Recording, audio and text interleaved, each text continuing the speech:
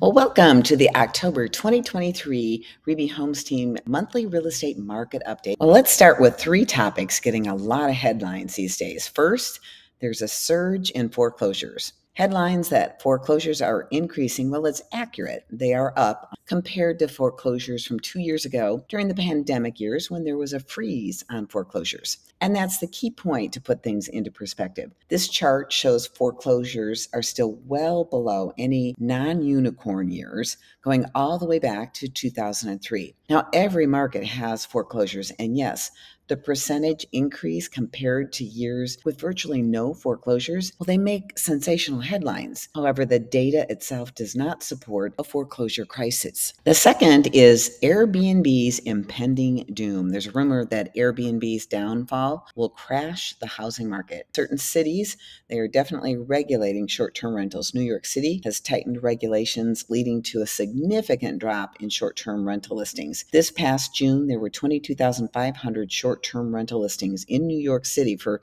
Airbnbs and VRBOs. And that number fell to 4,600 after the law was passed. That means there's about 17,000 people that were renting their house out as a short term rental that they no longer can. Now, does that automatically mean that they will sell or will they switch to longer term rentals? Phoenix, on the other hand, has more lenient state laws. In 2016, the state of Arizona passed a law that prohibits all of its cities and towns from restricting short-term rentals. However, homeowners associations, they may be able to restrict short-term rentals for their specific community and many do. So at the start of 2023, Phoenix had over 20,000 short-term rental units and all the competition has led to some of them sitting empty for weeks at a time. Now, is that enough to destabilize the housing market? Well, specific markets have different impacts and only time of course will tell. And the third topic is that Wall Street is buying buying every home. There's a belief that Wall Street is buying up all the available homes, squeezing out first time home buyers. However, the data shows a bit of a different story. Most investment properties are bought by individual investors or mom and pop owners who have between one and nine properties. Institutional investors, they play a role, but they don't dominate the market. Interestingly, recent trends indicate that many individual landlords,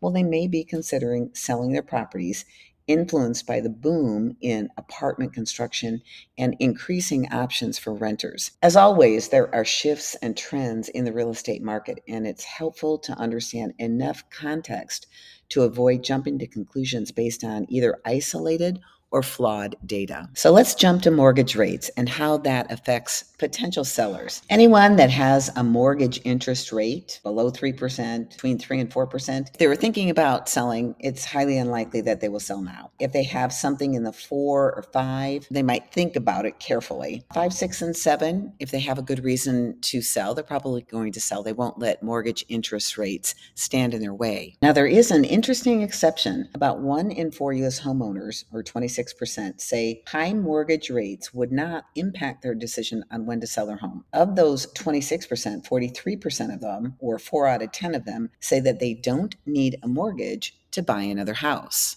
Well, this chart for annual appreciation, it sheds some light on that. The national average is 57.3% in five years. That means if someone had a $400,000 home five years ago, that house is now worth 600,000. So they have that extra 200,000 in equity and whatever they paid off over that five years of their mortgage. Going back 30 years to 1991, we can see from the national averages, prices went up almost 300%. So people that bought 30 years ago, they're sitting on a tremendous amount of equity. Those are the ones ones that are saying mortgage rates don't matter to me. I can go ahead and buy because I have enough equity and can buy with cash. How much equity do they have? Well, 38.7% of Americans today own their house free and clear. 30% have more than 50% equity, meaning if they own a $400,000 house, they have at least 200,000 in equity. And moving on to home prices, this from the Wall Street Journal, home prices are not falling anymore. The surprisingly quick recovery suggests that the residential real estate downturn is turning out to be shorter and shallower than many housing economists expected. And this from John Burns Consulting. January through August, housing demand stabilized, resulting in relatively stable home prices. By August 2023, national resale home prices fully recovered from the declines experienced in the second half of 2022 and now exceed the April 2022 peak. According to Freddie Mac, overall, it appears the reduction in supply has outweighed the decrease in demand. Those housing prices have started to increase even as sales have fallen. And finally, finally, a look at the Case-Shiller, FHFA, and CoreLogic report showing at the beginning of last year, prices had very high appreciation. Then the expected correction occurred in the months of July through December, those red bars that show when prices decreased. And then after that, appreciation returns much closer to historical norms. And here's another three indexes from Zillow, Black Knight, and Freddie Mac showing the same thing, the same trend.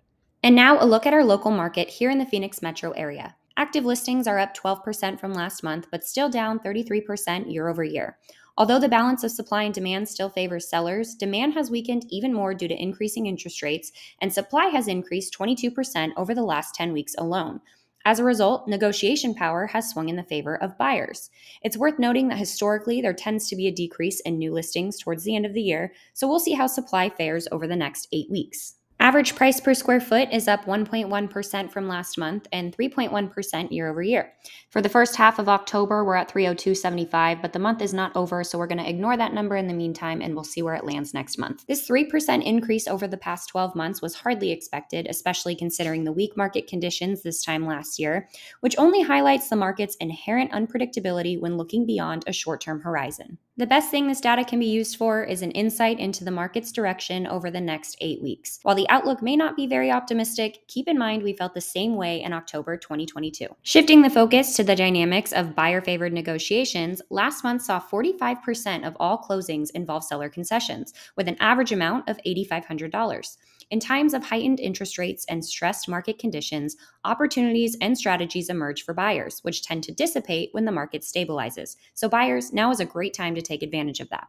On the seller side, the market is showing signs of weakening as we enter the fourth quarter, primarily due to increasing mortgage rates. The greater Phoenix area still remains in a seller's market, but if the current rate of decline continues, it may transition to more of a balanced market by the end of the year. Prices are holding steady and are not anticipated to significantly decline at the moment. However, sellers should be prepared for longer marketing periods, improving the condition of their home prior to listing if necessary, and remain open to funding rate buydowns. September finished with 22% of all listings closing above list price, which is up from January of this year, however, far below the 50 to 55% range in 2021 and the first half of 2022. The average amount above list price for homes under 800,000 was $5,000, but it's worth noting that many of these homes offered seller concessions in return for that higher price. So buyers, don't let those numbers fool you. There's still plenty of opportunity out there, and $5,000 above ask to get $20,000 in concessions could be very worth your while. And that'll wrap up our October 2023 real estate market update. We'll be keeping a close eye on the data in the coming weeks as the market is finally starting to see some changes. But until then, if you have any questions or would like specific data in your area, please don't hesitate to reach out. We're here to help. Thanks for tuning in, and we'll see you next month.